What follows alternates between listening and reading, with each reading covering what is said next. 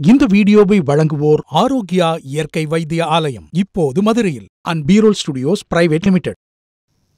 வாழ்க நலமுடன். வைத்தியன் YouTube channel நேர்களை வணக்கம் கூறி வரவேற்கும் நான் சித்ரா. பொதுவாகவே பெண்களுக்கு வந்து இந்த கழுத்தை சுற்றிலும் ஒரு கருமை நிறம் அப்படிங்கிறது இருக்கும். இதுக்கு பொதுவாக ஒரு காரணம் என்ன சொல்லலாம் அப்படின்னா பெண்கள் அப்படின்னாலே நகைகள் வந்து ரொம்ப விரும்புவாங்க.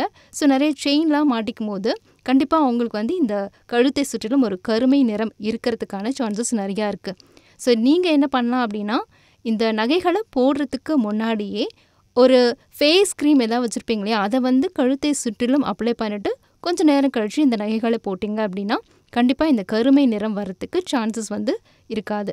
சரிங்க இப்போது கழுத்தை சுற்றிலும் கருமை நிறம் அப்படிங்கிறது வந்துருச்சு. என்ன பண்ணலாம்? கருப்பு தான் எனக்கு பிடிச்ச கலருன்னு விட்டுடலாமான்னு பார்த்தீங்கன்னா வேண்டாம். அதுக்கான சொல்யூஷன் தான் இப்போ வந்து சொல்ல போகிறோம் இப்போ நீங்கள் என்ன பண்ணலாம்?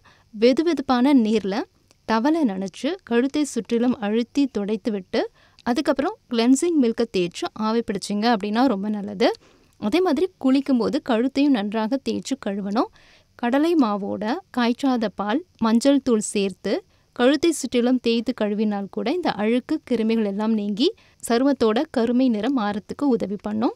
அப்புறம் அந்த ஸ்கின் வந்து நல்லா பளபளப்பாக இருக்கணும் அப்படின்னா கொஞ்சம் ரோஸ் பவுடர் அப்புறம் வெங்காயச்சாறு ஆலிவ் எண்ணெய் ரெண்டு சொட்டு பாசிப்பருப்பு மாவு சிறிதளவு.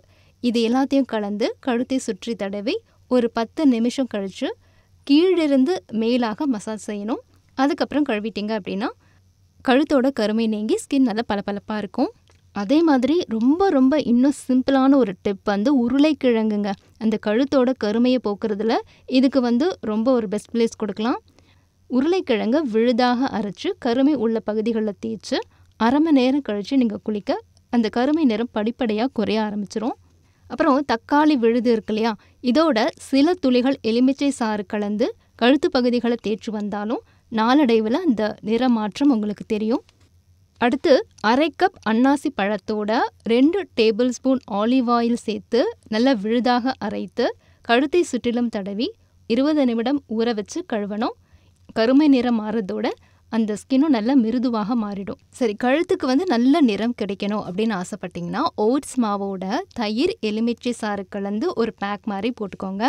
அதே மாதிரி கடலை மாவோட தயிர் சேர்த்தும் கழுத்தில் தேய்ச்சி குளிச்சுட்டு வரலாம். அல்லது பார்லி மாவோட காய்ச்சாத பால் கலந்தும் தேய்க்கலாம். ஸோ இதனால் கருமையும் வராது சுருக்கமும் வராது.